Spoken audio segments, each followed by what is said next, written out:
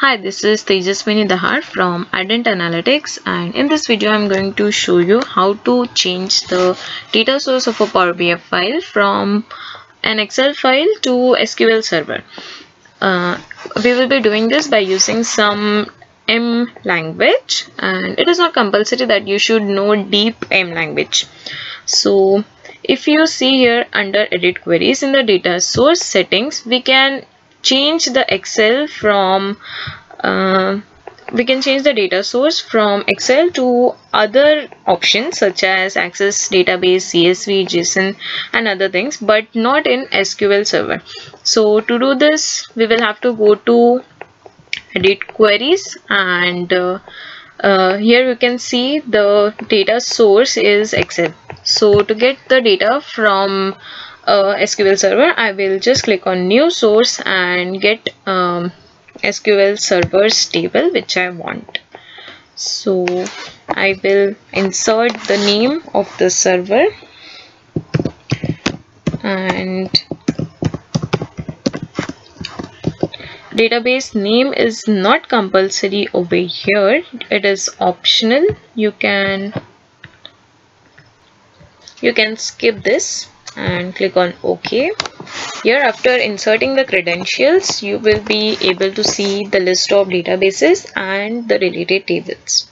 So I'm going to select the database source and my table is quantity. I'll just click it and click OK. So you can see here my table would be loaded over here. So what we have to do is go to Excel edit advanced editor and uh, I'll just need to copy this M language code and go to uh, my Excel source advanced editor. And here you will see the source which is Excel uh, and other things such as promoted headers change type etc which is important when we get the data from an Excel file uh, in SQL Server it is not needed because the tables are uh, well defined. The columns names the column headers are well defined over there and their data type as well. So I will just delete uh, these things from here and uh, paste the M language which we had copied.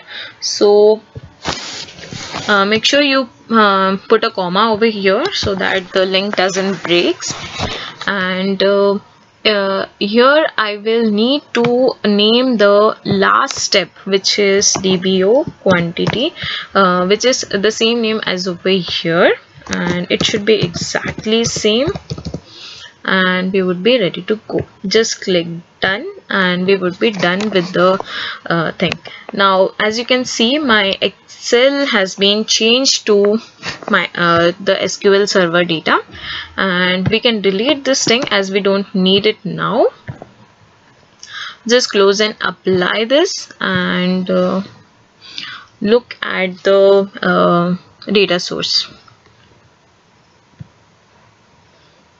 so when I go to data source uh, I will uh, see that my Excel is changed to SQL so this was a quick video on how to change the data source from Excel to SQL Server so uh, make sure you like this video and uh, subscribe to our channel for more Power BI content. Thank you.